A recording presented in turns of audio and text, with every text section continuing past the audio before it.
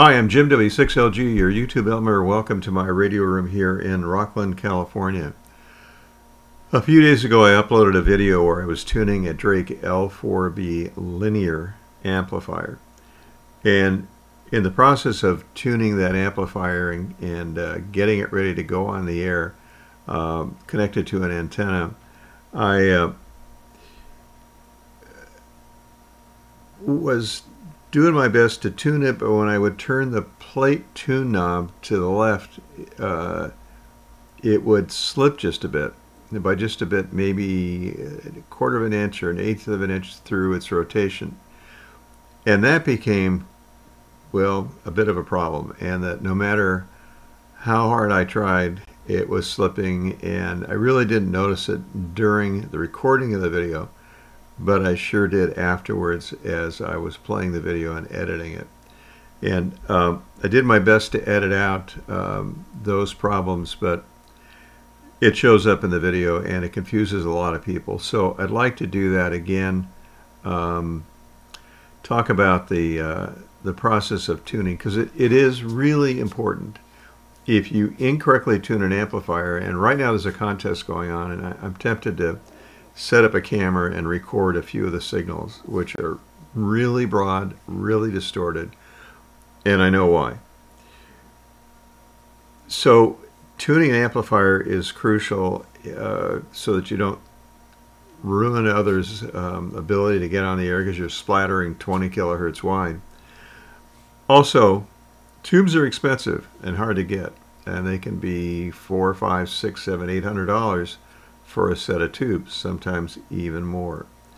And if you shorten the life of that tube because you incorrectly um, tune the amplifier because you have too much grid current, what's going to happen is that um, the amplifier will eventually fail in a number of regards.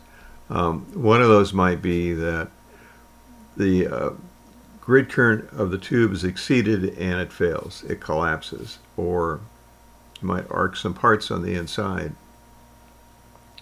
or put really high voltages where they don't belong and arc the plate load capacitor, for example, or the tank coil.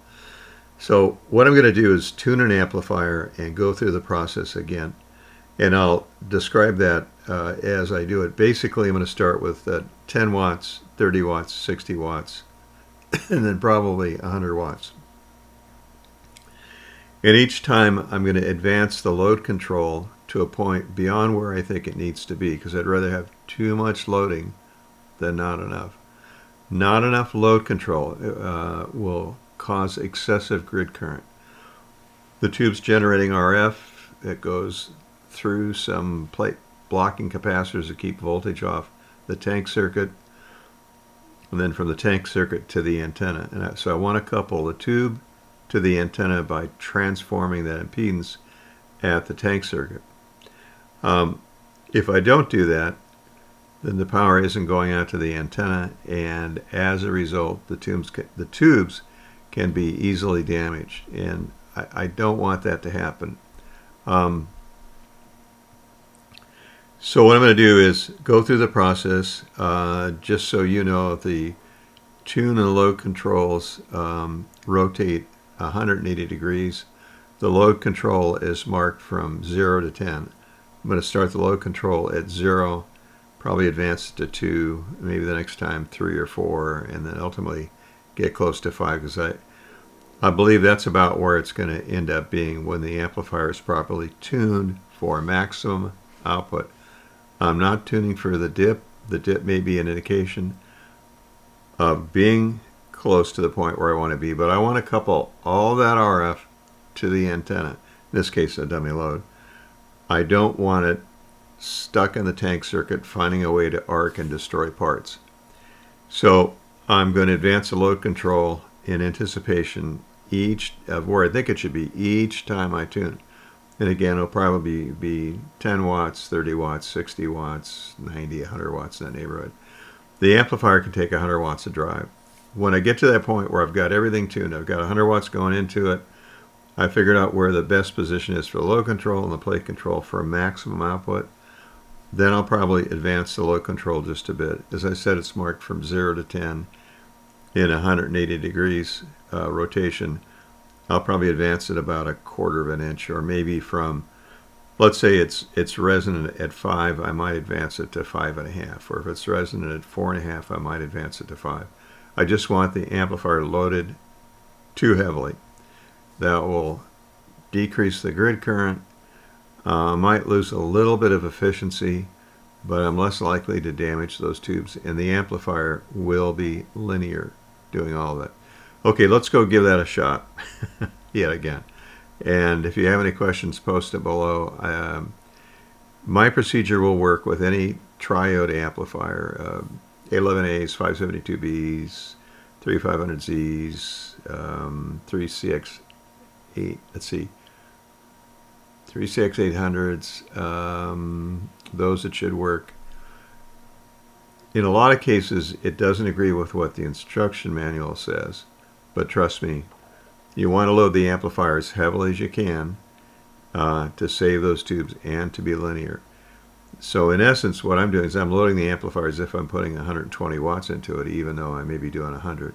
That way I know through its full swing of current and voltage, it's going to be linear. There's not going to be any distortion of that waveform. All right, it'll take just a couple of minutes to tune the amp. It's worth watching it. It's an amplifier I haven't used much in the past and recently got it back. So here we go, pair of 3500Zs in a Drake L4B, and I'm going to load it for max out very, very carefully and quickly for that matter. I don't want to, it doesn't make sense to go key down and damage some parts in the amp because it's out of resonance. So I will just hit hit the thing with 30, 40, 60 watts of drive, whatever it is, and then let up on it. So I'm just going to hit it long enough to turn the knob, figure out where it belongs, and then up. Uh, that should take five to 10 seconds. All right, enough talking. Let's go give it a try and see if this time I can make some sense of uh, how to tune the amplifier. Here we go.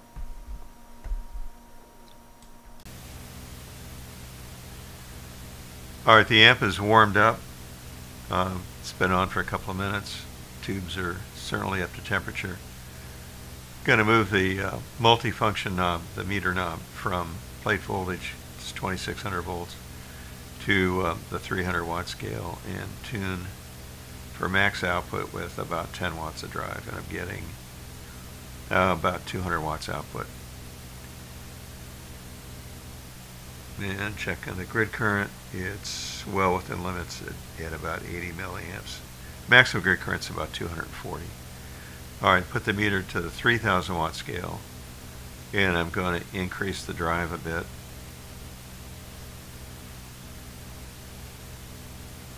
And that's max output of about 4 to 500 watts.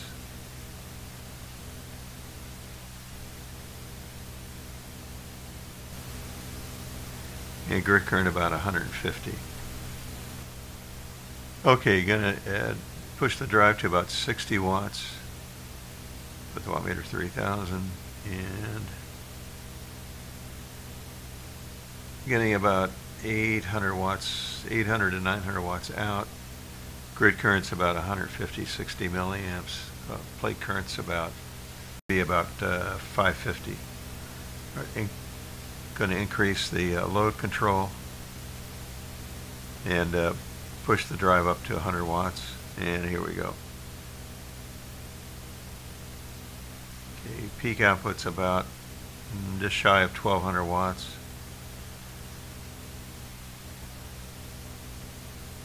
Almost 800 milliamps, just shy of 1200 watts. Grid current's about 220, plate current's almost 800. So that's that amplifier is tuned and uh, ready to go on the air with one slight change and I would increase the load control just a tad. There we go. All right, very good. That amplifier is really well tuned.